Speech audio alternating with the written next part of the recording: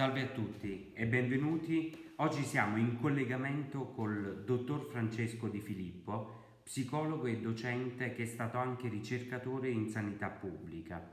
Oggi vogliamo parlare di coronavirus e psicologia. Siamo tutti chiusi in casa per paura del contagio e vogliamo porre delle domande al dottore in riferimento a questa grande emergenza. La prima è questa in questo periodo di pandemia da coronavirus forse c'è anche un'emergenza psicologica, cioè il rischio che le persone cadano nella paura. Dottore, le volevamo chiedere come si può affrontare la paura? Allora, salve a tutti. Mm, bene, la paura, eh, prima forse è mm, bene, come dire, descrivere cosa si intende per paura perché eh, eh, la paura è un'emozione e come tale è, è, è, qualcosa che va vissuta, qualcosa con cui dobbiamo sempre confrontarci nella vita. Prima di entrare nello specifico della paura del contagio da coronavirus, che è abbastanza attuale, eh, come diceva lei, come paura, devo mh, mm, dire che la paura è un'emozione primaria. Cosa si intende per emozione primaria? Cioè il fatto che la paura è un'emozione biologica, cioè gli studi che hanno fatto gli psicologi del passato eh, ci hanno subito fatto capire che l'emozione della paura riguarda qualsiasi essere umano, al di là della cultura e dell'etnia di appartenenza. Quindi la paura è eh, un qualcosa, di, ripeto, che non si può evitare. Iniziamo col dire questo. Cioè, eh, avere a che fare con la paura è come avere a che fare con un ospite indesiderato in casa. Voglio dire, se noi abbiamo un ospite in casa indesiderato non possiamo sfuggirne più di tanto, prima o poi ce lo ritroveremo sempre tra i piedi. Quindi il mio consiglio è inizialmente quello di mh, confrontarsi con questa paura, cercare di integrarla in noi in quanto quando noi parliamo soprattutto di eh, paura da coronavirus, quindi paura di questo contagio, ehm, è fondamentale riuscire a gestirla questa emozione, a integrarla in noi stessi, non a eliminarla o, a metterla eh, da parte, tanto questo meccanismo eh, sarebbe impossibile. Voglio dire, se la paura la si cerca di ehm, mettere da parte, ecco, metterci un coperchio sopra, c'è il rischio che questa paura poi riemerga sotto altre forme, potrebbe riemergere con disturbi psicosomatici, con nervosismo, con carico di ansia e, e, con problemi nei rapporti con gli altri. La cosa che voglio sottolinearle però è il rapporto tra la paura e l'angoscia, perché io più che di paura in questo periodo di, di, di, di contagio e di emergenza, di pandemia da coronavirus, parlerei soprattutto di rischio di eh, uno sviluppo di eccessiva angoscia nelle persone e l'angoscia eh, è una cosa ben diversa. Mi faccia dire che l'angoscia, eh, mentre la paura è come dire specifica, eh, la paura si riferisce magari a un elemento o oggetto esterno o interno che sia. Faccio un esempio, se abbiamo paura di una persona, noi cercheremo di evitare quella persona, di evitarla, di non entrare in contatto con quella persona e in questo modo già abbiamo un modo per gestirla tale paura, ci allontaniamo, frequentiamo altri posti e via. Oppure se abbiamo paura di una situazione, magari quella situazione prima di affrontarla la evitiamo, poi prima o poi dobbiamo affrontarla anche in quel caso, però come dire, la paura è relativa a un oggetto esterno chiaro, spesso è così, per esempio la paura uh, o la fobia relativa ai ragni eh, è, è specifica a quell'oggetto, quindi se evito le situazioni dove possono esserci dei ragni oppure se ne incontro uno per strada cambio strada e allora ecco che così riesco a contenere questa paura. L'angoscia è qualcosa di diverso perché quando noi siamo di fronte all'angoscia siamo di fronte a una paura di un nemico invisibile che potrebbe essere da tutte le parti e da nessuna parte. I virus all'essere umano fanno questo tipo di paura da sempre, cioè è una paura eh, relativa, quindi l'angoscia è qualcosa in più della paura, perché è eh, la paura che il nemico ci possa attaccare da qualsiasi parte. Sa, noi eh, mi lasci dire che eh, mh, ci siamo forse illusi negli ultimi anni di avere sconfitto eh, le malattie infettive grazie agli antibiotici, dalla scoperta della penicillina in poi. Abbiamo dire, sviluppato una certa sicurezza, no? penso a tutte le campagne contro i vaccini, all'idea che eh, le malattie eh, infettive non possano più rappresentare un pericolo per noi, ma questa è una rappresentazione alquanto problematica e, e non corretta, nel senso che eh, la paura eh, che sta emergendo ora nasce anche da una sorta di sicurezza che avevamo rispetto a questo tipo di patologie, ma ripeto, era una sicurezza fondata sul nulla. L'angoscia è più complessa, l'angoscia è paura di qualcosa che è, sembra inevitabile e sembra non controllabile. E quindi, dottore, in riferimento all'angoscia, ci può dire come si può combattere l'angoscia? Ah, ecco, la, eh, mentre ripeto una paura che ha a che fare con un oggetto esterno, anche quella ha bisogno di un'analisi anche psicologica, eh, per carità, però ci sono varie strategie anche pratiche che gli esseri umani possono mettere in atto. Mentre quando parliamo in realtà di angoscia, e qui un, è, necessario un confronto con se stessi più interiore, Voglio dire, l'angoscia la si può dire, gestire e integrare nella sua personalità se, se, se, riusciamo a togliergli quel carico di eh, eccessiva paura che porta con sé. Insomma, l'angoscia o l'attacco di panico o, o, o, o l'attacco d'ansia.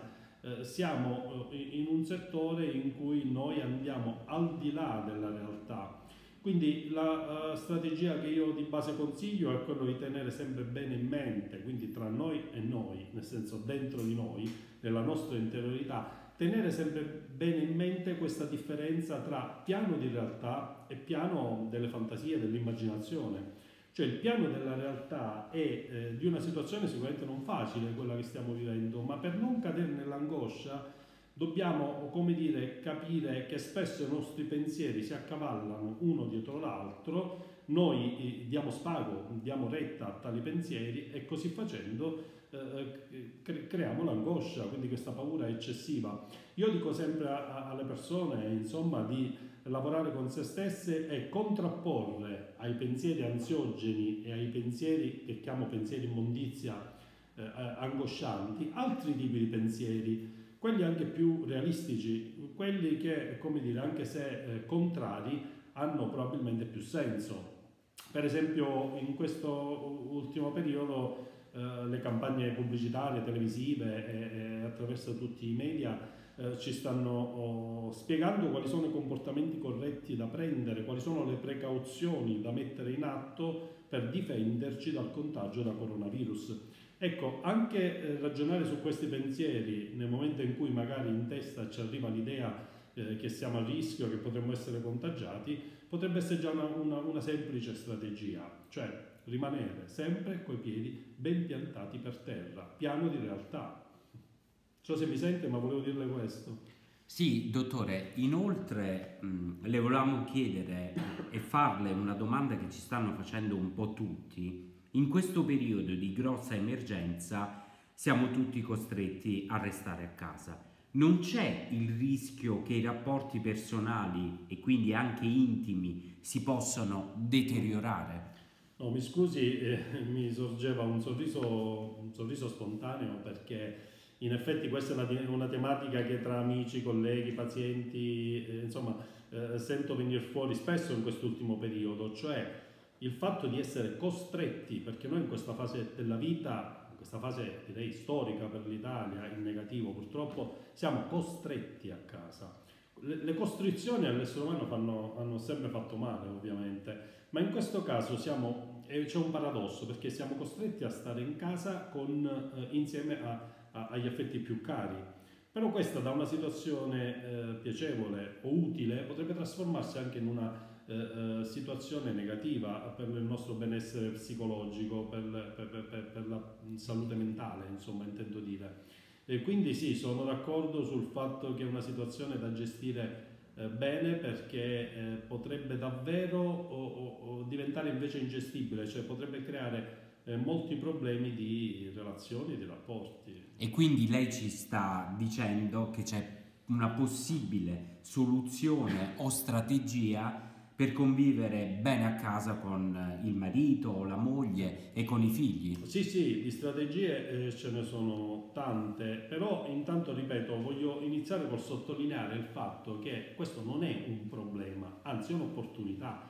Cioè abbiamo l'opportunità di stare a casa. Certo, abbiamo perso la nostra libertà, perdiamo le nostre libertà eh, per un periodo limitato e che ha un senso. Ricordiamoci sempre il piano di realtà, il senso è quello di superare questa emergenza, questa pandemia. Però è un'opportunità il fatto di stare vicini eh, a, a, ai propri figli, più vicini ai propri figli, di stare eh, a, a maggiore contatto e il rapporto col proprio, con la propria partner. Cioè è una grande opportunità diventa un problema spesso e può diventare un problema, è vero, perché? Perché la nostra società occidentale contemporanea è, è, è, è, organizzata, si è organizzata da un bel po' di anni in un certo modo, cioè noi siamo abituati eh, che passiamo parte della giornata, quindi come è organizzata la nostra quotidianità, voglio dire, parte della giornata la si passa al lavoro, si hanno i rapporti con i colleghi e, e si hanno impegni lavorativi, parte della giornata eh, si passa in casa e, e, quindi ognuno ha le sue attività e, poi c'è il sabato e la domenica, insomma avevamo un'organizzazione della settimana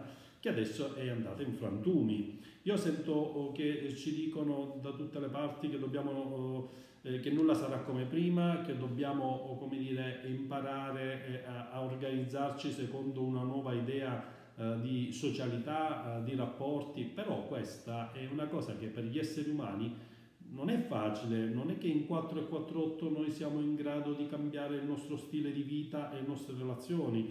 Quindi i problemi nascono e sorgono laddove ci troviamo magari a contatto continuo, eh, quotidiano, con eh, problematiche che eravamo riusciti ad accantonare perché distratti dal lavoro, distratti da, da, da, da mille impegni. Qual è quello, la cosa che io consiglio? La strategia che io consiglio è quello di non perdere il ritmo delle attività che, che, che abbiamo fatto fino ad ora, cioè non perdere il ritmo nel senso che manteniamo alcuni orari, manteniamo uno stile di vita in cui siamo attivi, in cui pur essendo fermi a casa continuiamo a fare le nostre attività, curiamo certi hobby, ma ci confrontiamo anche con le persone eh, che amiamo su alcuni conflitti emersi, insomma contenimento, ma continuare con un ritmo ben organizzato le attività eh, che abbiamo sempre fatto, certo in un contesto diverso. Questa potrebbe essere una buona strategia, allora davvero possiamo trasformare un problema in un'opportunità e il fatto di trasformare un problema in un'opportunità è, è, la base di qualsiasi percorso terapeutico e psicologico. Insomma, è quel confronto con l'ombra che in questo caso è, è una cosa manifesta, sociale, reale. Confrontarci con questo problema può anche rinforzarci. Dico l'ultima cosa che mh, è sottointesa a quello che sto dicendo è che abbiamo la resilienza, cioè la resilienza che cos'è? È la nostra capacità di sviluppare adattamento a qualsiasi situazione della vita, quindi una situazione complessa ci può permettere di tirar fuori risorse con, che abbiamo dentro di noi psicologiche ed entrando in contatto con tali risorse e queste poi possono essere utilizzate anche quando riprenderemo la nostra cosiddetta vita normale, possono essere utilizzate anche davanti ad altri problemi. Quindi la situazione, ripeto, è un'opportunità, primo perché ci mette a contatto più stretto con le persone cui vogliamo bene e secondo perché ci può rinforzare. Io le voglio porre l'ultima domanda, dottore, ehm, che esce un po' fuori dal, dai canoni di questo periodo.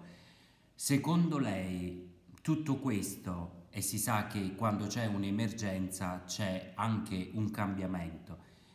Tutto questo porterà a qualcosa di, di positivo? Ci sarà un cambiamento radicale? Ma come le dicevo prima, eh, non è facile eh, cambiare alcune abitudini, alcuni stili di vita, poi parliamo di stili di vita e di relazione, non si cambiano così rapidamente. Certo sarà, uh, è, è, come subire un trauma per tutto il nostro mondo moderno, un trauma uh, che sicuramente lascerà i segni. È inutile sforzarsi di prevedere eh, cosa cambierà, però è, è, chiaro che cambieranno molte cose, ma io prevedo una grande voglia di ritorno alla normalità e quindi quando tutto questo uh, sarà finito, secondo me la memoria del mondo che è stato, in termini dico, di, di, di, di unione tra persone, di feste, ed in realtà secondo me tornerà tale e quale prima perché l'essere umano è di base un animale relazionale, cioè abbiamo bisogno di relazioni anche strette e quindi torneremo secondo me alla vita che abbiamo sempre, sempre avuto. Dottor Di Filippo, noi la ringraziamo e